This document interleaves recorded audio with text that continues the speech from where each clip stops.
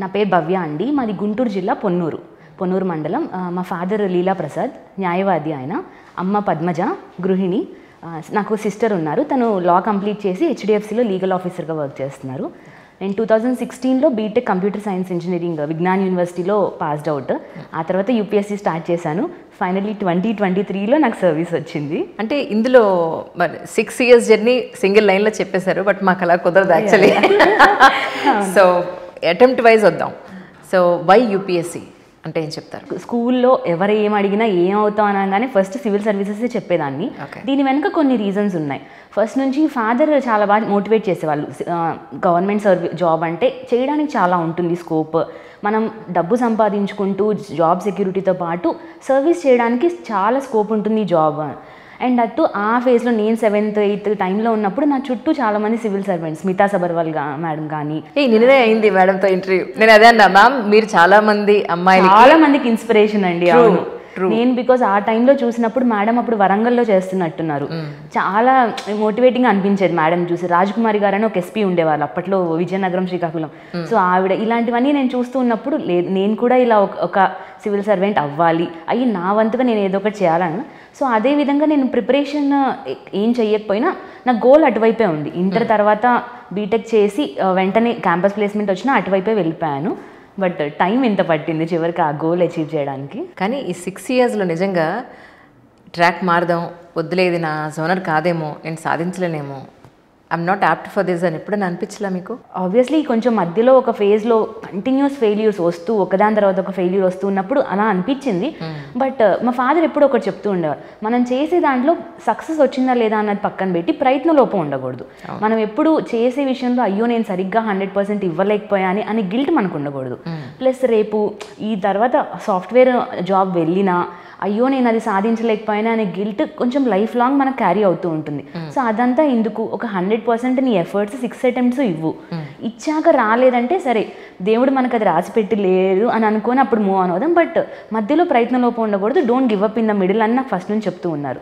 నేను కూడా అదే దాంతో లేదు హండ్రెడ్ పర్సెంట్ ఇద్దాము. వస్తే వచ్చింది లేకపోతే లేదు. బట్ ఎక్కడ ఎఫర్ట్ అయితే ఆపకూడదు అన్నది అనుకున్నాను. సో సిక్స్త్ అటెంప్ట్ వరకు అలాగే ఎఫర్ట్ ఆపలేదు.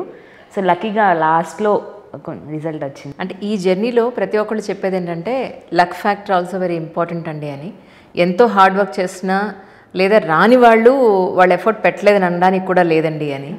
సో మీ జర్నీలో ఈ సిక్స్ ఇయర్స్లో ఏంటి what matters really for UPSC అంటే? అంటే నాకు అర్థమైందంటే యూపీఎస్సీ మనతో పాటు చాలా మంది ఫర్ ఎగ్జాంపుల్ నాతో పాటే చాలా మంది జర్నీస్ స్టార్ట్ చేశారు కొంతమందికి ఫస్ట్ అటెంప్ట్లోనే వచ్చేసింది.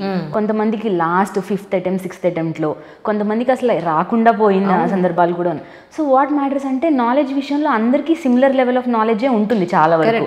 బికాస్ కలిసి ప్రిపేర్ అవుతున్నప్పుడు మనం ఒక్కొక్కసారి చూసినప్పుడు మనం వాళ్ళకి ఏది తక్కువ కాదు అనే అనిపిస్తూ ఉంటుంది. కానీ end of the day exam maybe luck factor అవ్వచ్చు ఆర్ ఎగ్జామినేషన్ స్ట్రాటజీ కరెక్ట్గా పట్టు మనం సాధించకపోవడం వల్ల అయి ఉండొచ్చు. ఆర్ఎల్స్ ముందు మిస్టేక్స్ నుంచి అనాలిసిస్ సరిగ్గా చేసుకొని సరిగ్గా చేయకపోవడం అనొచ్చు. మనం కొంచెం ఫర్ ఎగ్జాంపుల్ నా విషయంలో నాకు అదే అనిపించింది. ఇన్నాళ్ళు నాకు టైం పట్టడానికి మేబీ నాకు కరెక్ట్ దాని స్ట్రాటజీ నేను అందుకోలేకపోయానేమో నా ఫెయిల్యూర్స్ నుంచి సరిగ్గా నేను అనలైజ్ చేసుకోలేకపోయానేమో అని అనిపించింది. నేను అనుకోవడం అనాలిసిస్ ఇవన్నీ important but you should not never compare with others journey కొంతమందికి ఈజీగా వచ్చిందని వాళ్ళని చూసి జెల్లస్ ఫీల్ అవ్వడంలో అసలు అర్థమే లేదు. ఎవరి ఓన్ జర్నీ వాళ్ళది ఎవరిది వాళ్ళది.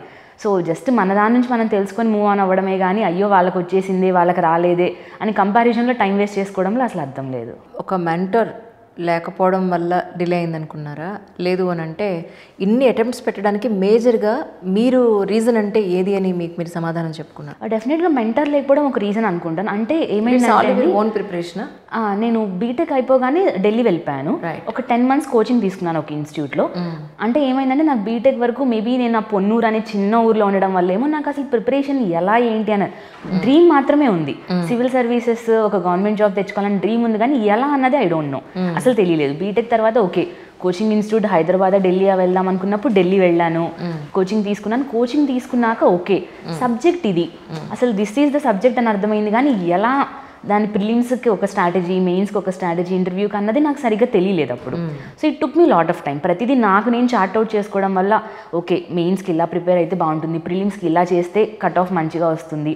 ఇవన్నీ తెలియడానికి టైం పట్టింది. బట్ ఎవరైనా మెంటర్ కానీ గైడ్ కానీ ఉండుంటే ఇదంతా కొంచెం సులభం అయ్యి ఉండేదని నేను అనుకుంటాను. సో నాకు అందువల్లే కొంచెం డిలే అయ్యిందేమో లేకపోయి ఉంటే నేను సెకండ్ అటెంప్ట్లో ఇంటర్వ్యూకి వెళ్ళాను. ఫస్ట్ అటెంప్ట్లో నేను ప్రిలిమ్స్ క్లియర్ చేయలేదు. అప్పుడు కోచింగ్లో ఉండగానే అటెంప్ట్ ఇచ్చాను. తర్వాత సెకండ్ అటెంప్ట్లో నేను ప్రిలిమ్స్ మెయిన్స్ క్లియర్ చేసి ఇంటర్వ్యూ వరకు వెళ్ళాను. కానీ దాని తర్వాత నాకు థర్డ్ ఫోర్త్ ఫిఫ్త్ దగ్గర నేను మెయిన్స్ దగ్గర ఆగిపోతూ వచ్చాను. సో దాని అది ఎవరైనా ఉండి కాదు భవ్య ఇట్లా కరెక్ట్ చేసుకో అని చెప్పుంటే ఇంకొంచెం ఈజీ అయ్యి ఉండేదేమో. బట్ అన్నారు అదర్ వే నేను నాకు నేను తెలుసుకొని ఈ ఫోర్ ఇయర్స్లో ఇట్ టుక్ సమ్ టైం కానీ సెకండ్ అటెంప్ట్లోనే మీరు ఇంటర్వ్యూ వరకు వెళ్ళి రాకపోవడానికి కారణం ఏంటి? అంటే స్కోర్ సరిపోలేదా? నాకు మెయిన్స్ స్కోర్ తక్కువ ఉంది. ఫస్ట్ నుంచి నాకు కొంచెం మెయిన్ స్కోర్ కొంచెం ప్రాబ్లమాటిక్గా ఉండేది. ప్రిలిమ్స్ ఇంటర్వ్యూ చాలా కంఫర్టబుల్గా క్లియర్ చేసేదాన్ని కానీ కొంచెం మెయిన్స్ నాకు ప్రాబ్లమ్గా ఉండేది. సో అదే అప్పుడు సిక్స్ మార్క్స్తో నేను మిస్ అయ్యాను బట్ దాని తర్వాత వరుసగా త్రీ అటెంప్ట్స్ అసలు నేను ఇంటర్వ్యూ వరకు కూడా వెళ్ళలేదు. ఫైనలీ లాస్ట్ అటెంప్ట్లో మళ్ళీ ఇంటర్వ్యూకి వెళ్ళాను. ఓ my God oh my God such a long journey very long journey in fact అప్పటి వరకు ఏమైందంటే నేను బీటెక్ వరకు స్కూల్ కాలేజ్లో ఎప్పుడు టాప్ ఫస్ట్ ర్యాంక్ వస్తూ అలా ఉండేది. కరెక్ట్గా బీటెక్ తర్వాత కంటిన్యూస్ ఫెయిలియర్స్ ఒకదాని తర్వాత ఒకటి.